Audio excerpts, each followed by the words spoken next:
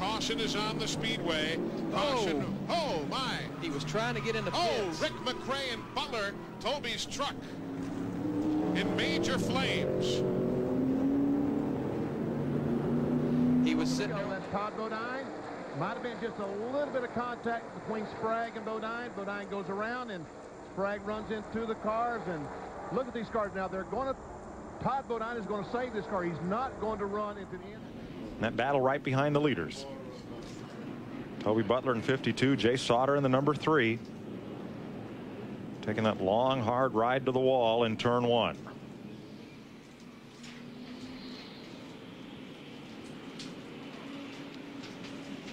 Watch the left side of your screen. Two cars getting together, and then one gets sideways. Looked like that was the Dale Jarrett car. Brad Teague, I believe, the number Brad 75, Teague. the black and orange car right at the middle of your screen, and he really Look how that all of it. racetrack is blocked. There's nowhere to go. Driving has nothing to do with it here. You're flying. There's just nowhere to go. Everything washes down, but people now have locked it up to try to miss the wreck. And uh, Really tried to force the issue here entering turn one. Schrader says, where the, where the heck did he come from? Made hard contact. You wonder if Dennis Setzer will. the uh, fifth, sixth, seventh, and eighth positions. And there we see Schrader shoot out to the outside and Bickle down to the inside. And the other car's coming through the middle. Now, what, what caused him to shoot out there? All the way out to the car. they both both sideways. Look out.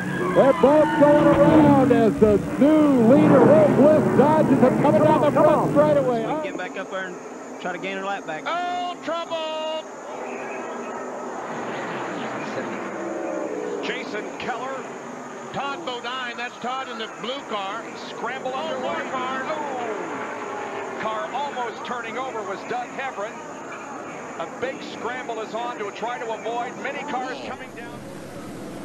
Upper right-hand corner of your screen. Boom, right there. Man, oh man. Have no idea what might have caused that collision with the wall, but you see this truck, it doesn't stop because Hanson puts on the brakes or anything else. It gets it stops because it, get, it gets tired of rolling. The friction with the wall is what brings him to a stop all the way into turn four. Because right now, Yeah, right. The guy that made the speech at the drivers' meeting is, oh, we got a bad crash in the back straightaway. Rodney Combs. Combs has crashed. They're Here they trying to come. avoid him, and here comes the trouble. So you can't avoid. Once you see a car spin in front of you, you get on the brakes and it just everybody brakes. This is actually a bigger crash than the one we just had. Kenny Wallace is in. Second through fifth, they can't work it out side by side. Oh, oh, inside. What a The great run. 81 of David Starr, and there's more contact. Ken Schrader gets into him. Dennis Setzer goes around. The four of Ricky Carmichael involved. And remember the fuel situation. Now we're going to go. Never see Schrader coming off the wall Right in front of Larry. right in front of Larry. And there's the fire that I looked up and saw. He knocked the fuel pump off. And I think Butler's going to get it. I mean, Straight's going to get it sideways. He does. Straight got just a little bit sideways. When he turned it back to correct it, he runs into the side of Butler and just kind of knocked the wheel straight. He hit the Let's left. see. Here comes, here's Crawford coming the red truck. Bam! He hits the wall hard. When he gets a blow from Jack Sprague. So it looks like five or six trucks involved. And Benny, that's very, very hard.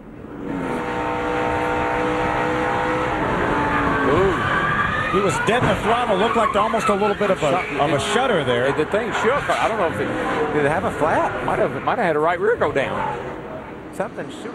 Right in, right in the middle, it looks like, uh, no, right at the back of that pack, looks like probably, maybe, it looked like maybe Chuck Bown got in the back of Toby Butler, who in turn got in the back of Lance Norick, and around they went. The problem with these straightaways here, Ray, they're banked 16 degrees, they're self-cleaning. Now we see already see the 52 truck, the Oakwood Homes truck of Schrader going around. That's Terry Cook right behind him. And look at Setzer. Here he comes. All of a sudden he realizes he has no place to go, and Biffle just barely squeaks by in that Grainger Ford on the bottom of the racetrack. racetrack in front of him. Here's the moment of impact.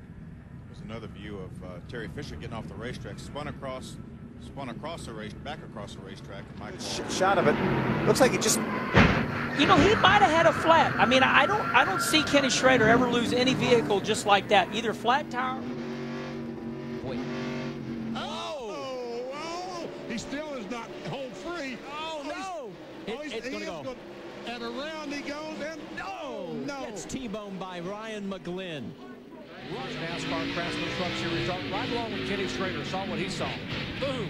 You, try, you heard him get in the throttle real hard, tr then tried to get road. Unfortunately, now he's got some considerable damage. Watch Jimmy drive that thing. Watch it. Watch him steer that thing inside that truck. His hands are working extremely hard. And that, that's all going down at well over 100 miles an hour. And he's out of control. You know, you, you think about running 100 miles an hour, that's a big deal, and he's out of control. You see, you saw Corey Gibbs behind him, so there wasn't not any contact from Corey Gibbs. He just drove in the corner, had a flat tire, went up the race.